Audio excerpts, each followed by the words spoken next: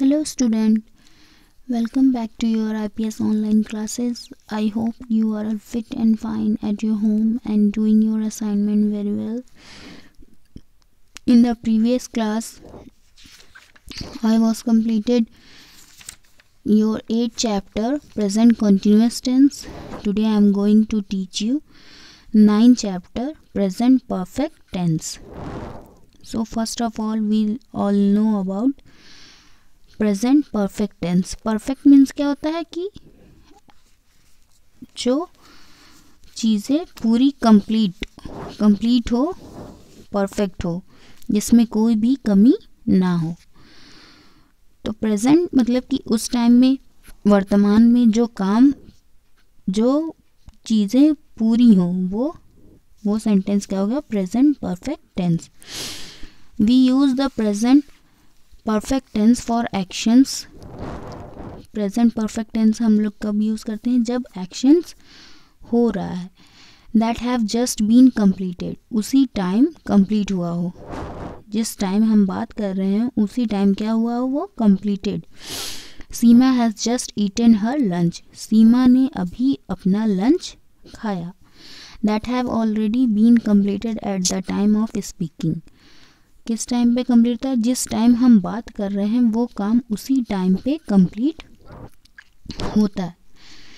That started in the past and are continuing in the present start start कब होता है? Past में start होता है, लेकिन कंटिन्यू रहता है प्रेजेंट तक। जैसे we have lived in this house since 2013 हम 2013 से इस घर में रह रहे हैं for which the time mentioned has not finished it और जो टाइम मेंशन है, वो क्या है? Finish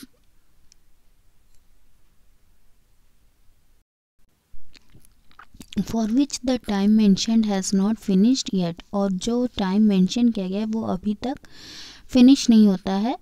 It has rained heavenly heavily this month इस मंथ में बहुत हैवी रेन हुई। पॉइंट्स टू रिमेंबर क्या क्या पॉइंट्स हमें याद करने हैं? क्या ध्यान में रखना है सेंटेंस बनाते वक्त? We often use words such as just for since and already with the present perfect tense present perfect tense में हम कौन कौन से वर्ड यूज़ करते हैं? मोस्टली अक्सर, जैसे just for since and already ठीक है? Read this sentences Paras has just finished reading the story Paras ने अभी जस्ट फिनिश किया है रीड करना स्टोरी को.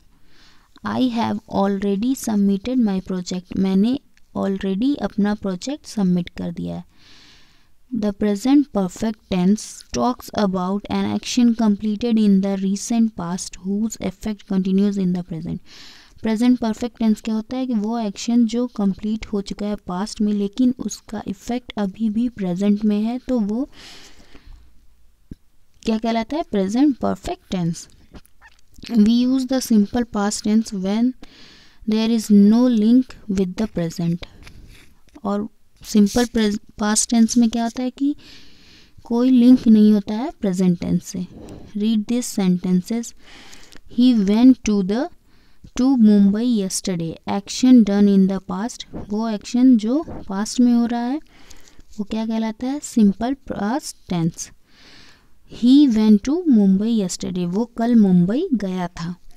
He has gone to Mumbai today आज ये मुंबई जाएगा past action linked with the past action है और वो किससे लिंक्ड है? प्रेजेंट में। तो ये क्या हो जाएगा? प्रेजेंट परफेक्ट टेंस और जब हम इसका सेंटेंस बनाएँगे सेंटेंस तो कैसे बनाएँगे? Forming the verb in the present perfect tense present perfect tense में वर्ब को कैसे फॉर्म करते हैं? The present perfect tense is formed in two parts two part में बनाते हैं, जैसे वी यूज़ हैज़ और have before the main verb main verb से पहले हम किसका यूज़ करते हैं? हैज़ और हैव का.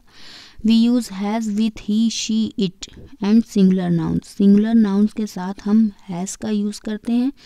प्लूरल नाउन के साथ आई वी यू दे के साथ हैव का यूज़ करते हैं। We use the past participle form of the main verb along with the has or have और हम जो दूसरा पार्ट है सेंटेंस का, उसको पास्ट पार्ट पार्टिसिपल फॉर्म में यूज़ करते हैं और उसमें ई डी लगाते हैं। जैसे read this sentences he has got the ball catch का कौन सा फॉर्म लगा दिया? Third form caught she has gone to Italy go का?